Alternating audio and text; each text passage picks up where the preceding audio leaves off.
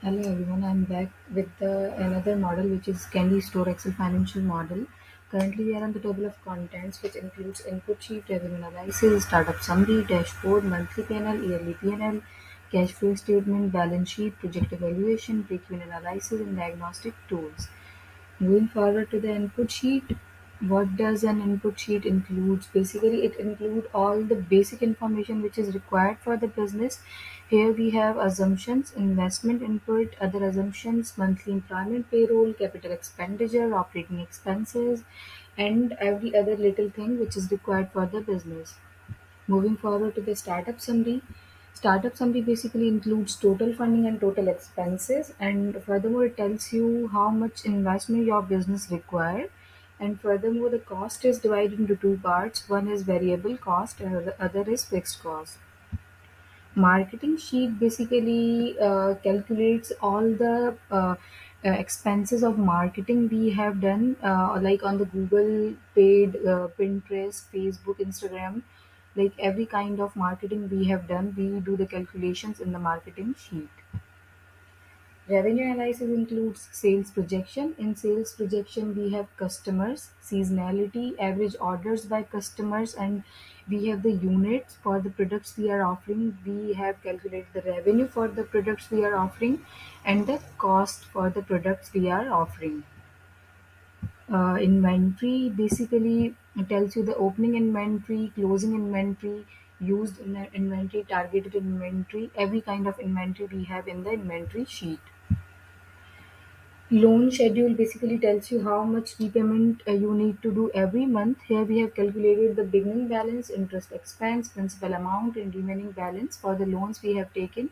Here we have taken three loans, loan 1, loan 2 and loan 3. Depreciation table basically tells you how much an asset is depreciating over the time. Obviously, if you're using an asset, it will be depreciating over the time. Monthly P&L basically uh, tells you the revenue, cost of goods sold, total cost of goods sold, operating expenses, which we have included in the input sheet. Here we have done the calculations, net income before taxes, after taxes, everything on the monthly basis. In yearly P&L, we calculate revenue, cost of goods sold, gross profit, operating expenses, total operating expenses, net income after taxes, before taxes on the yearly basis. In cash flow statement, we have cash flow from operations, cash flow from in- investing, cash flow from financing, and moreover, the uh, it tells you whether the cash is generated from the cash flow from operations, cash flow from investing, or cash flow from financing. Furthermore, uh, it tells you the outflow and inflow of the cash, which is very important for the business.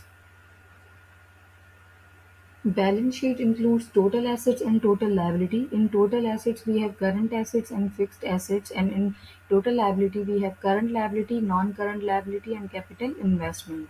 Moreover, balance sheet tells you the current stability of the company, where the company is standing, Project evaluation basically tells you the FCFF of the company, value of the company, where the company stands, IRR of the company. Break-even analysis basically tells you the point at which you have generated enough uh, cash uh, to cover up all of your costs.